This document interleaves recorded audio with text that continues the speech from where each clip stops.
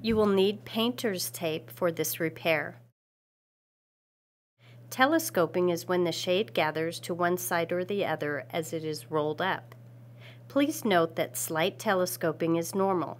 It only becomes a problem when the fabric comes in contact with the brackets, clutch, or window frame. Use a leveling device to confirm that the roller shade tube is level. If not, adjust one of the brackets up or down until level is achieved. If that doesn't solve the problem, unroll the shade a few inches past the point where the shade currently stops and place a strip of tape on the side opposite from the end where the shade is telescoping. After applying one piece of tape, check to see if the shade is level.